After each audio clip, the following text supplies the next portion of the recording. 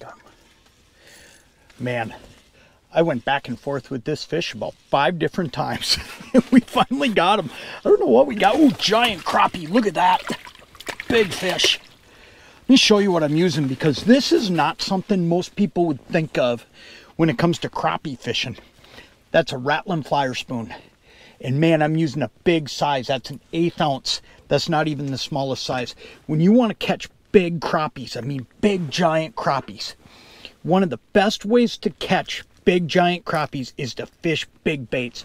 Fish stuff that you would normally think of when it comes to walleye fishing and fish like that right there, they'll attack this and they won't even think anything of it because this fish right here, he eats big stuff. He's not running around looking for little stuff.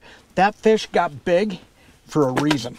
And that bait right there, that rattling Flyer Spoon, that triggered him. So next time you're thinking, man, how do I catch some bigger fish? How do I get after some of the biggest crappies in the school? Let me tell you something. You don't catch a lot of small crappies when you're fishing an eighth ounce Rattl'n Flyer Spoon. You catch big ones. That's an awesome fish anywhere you go, man. That is cool.